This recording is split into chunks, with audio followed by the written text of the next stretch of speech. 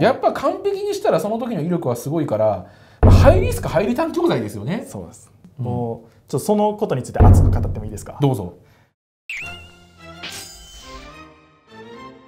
武田塾チャンネル。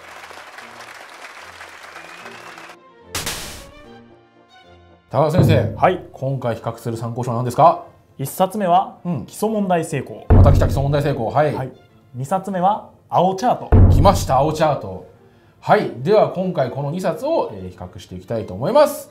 それでは本日の参考書はどっちはい。じゃあ前回ですね基礎問題成功と青チャートまあいろいろ比較しましたが、はい。どう考えても基礎問題成功の量が少なくてはい。まあしかも、まあ、基本的に簡単であると、そうですね、うん。青チャートどんな人が使うんだって言ったらそもそも青チャート使ってる人たちって進学校の人たちじゃないですか。多いですね進学校の子たち、はい大体その王道パターンっていうのが青チャートやってからの1対1対応みたいな。あーよくネットとかで見ます。そのうん。参考書やってる子たち、そうそうはいそう。そう、青チャート使うタイミングって多分授業で習ってるのと同時とか習った後に使う、う青チャート 1A だったらもう高1の頃からガンガンやってるっていう子たちですね、根本的には復習プラス発展の教材ってイメージだと思うんですよ、確かに確かに。うん。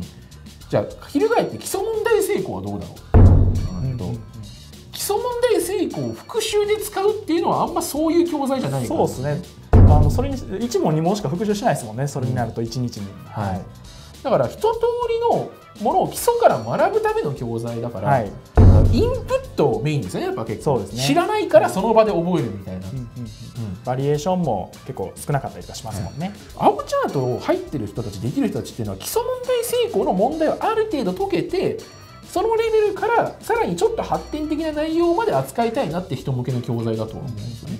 なるほど。じゃあそれはどんな人に合うんですかね？青チャートは。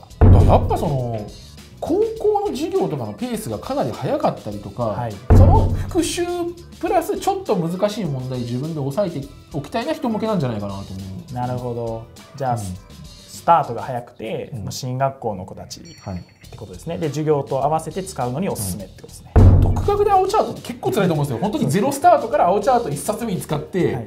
やっていくっていうイメージはあんまないかなっていう、じゃあよっしゃ受験生だ青チャートやろうっていう感じではないんですね。それだったらまだそのチャートだったら白か黄色？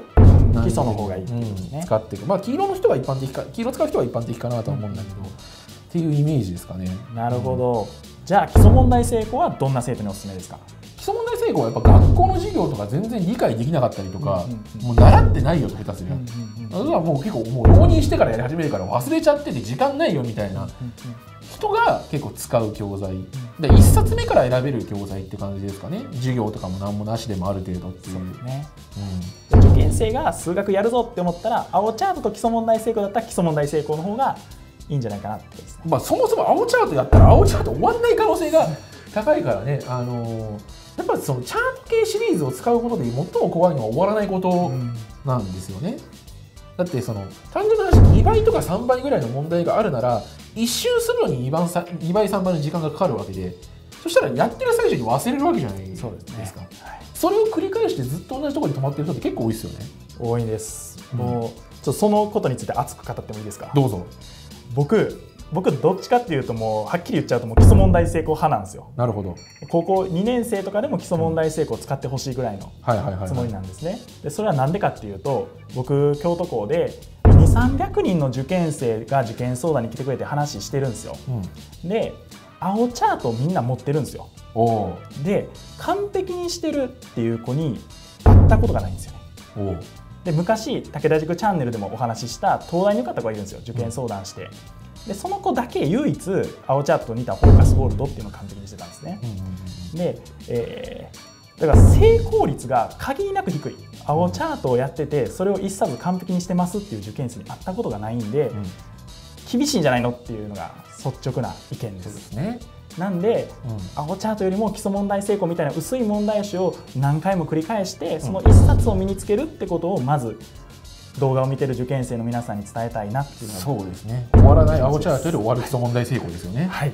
だけどその代わり真逆に基礎問題成功じゃなくて青チャート終わらせられた人はい。完璧にできた人の成績凄まじいよね。凄まじいですね。実際あの、まあ、教え子でもいたんですけど青チャート終わった瞬間センター過去問とかされたら95%取ってきたやついましたからね これすげえなって思ったんですけど。青チャートの威力はすごいですね、うん。やっぱ完璧にしたらその時の威力はすごいから、まあ、ハイリスクハイリターン教材ですよね。そうです。ローリスクローリターン教材が基礎問題整合。